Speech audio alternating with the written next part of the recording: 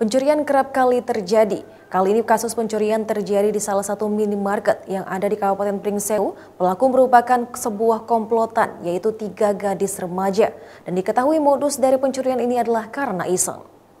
Polsek Keding Rejo Kabupaten Pringseu Lampung berhasil mengamankan tiga gadis remaja. Ketiga pelaku diamankan setelah diketahui melakukan pencurian di sebuah minimarket yang terletak di Kecamatan Gading Rejo. Ketiga pelaku merupakan dua warga Bandar Lampung yang berinisial Eka 21 tahun, RH 20 tahun dan seorang warga Kabupaten Tulang Bawang Barat berinisial FMD 23 tahun. Untuk melancarkan aksinya, ketiga pelaku telah membagi peran masing-masing. RH berperan mengalihkan perhatian karyawan, kemudian kedua pelaku lain berperan mengambil barang curian dan menyimpannya di dalam tas yang sudah disiapkan. Uniknya para pelaku ini mencuri barang berjenis kosmetik dari total 24 jenis barang yang berhasil dicuri.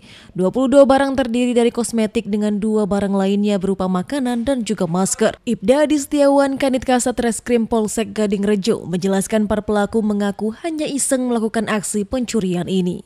Benar, Polsek Gading Rejo telah mengamankan tiga orang pelaku pengusiran salah satu yang ada di Kabupaten Gresik sekira pukul 5.00 WIB yang mana pada saat dilakukan pengamanan pihak dari pihak kepolisian dari Polsek Gading Rejo mendapat informasi dari masyarakat berkaitan pemutilan yang ada di salah satu swalayan yang ada di Kabupaten Gresik.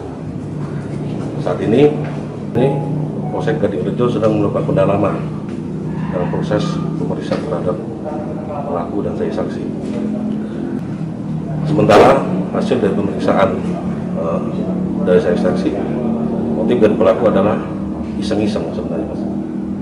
Untuk proses hukum lebih lanjut, ketiga pelaku berikut barang bukti kini diamankan di Mapolsek Gading Rejo, Kabupaten Pringseu. Dari Kabupaten Pringseu, Suranto dan Andi Yulianto, Metro TV Lampung.